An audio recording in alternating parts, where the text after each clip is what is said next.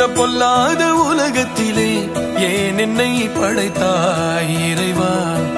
வலி தாங்காமல் கதரும் கதறல் உனக்கே கேட்கவில்லையா? எட்டு திக்கோடும் இருப்பவன் நீ எங்கு போய் தொலைந்தாய் இறைவா? கருங்கல்லான உனை நான் பொழுதும் தொழுதேன் போதவில்லையா? வாடி வதங்கும் ஏழையை என்பதை தானாகுமா கோடி விளக்கை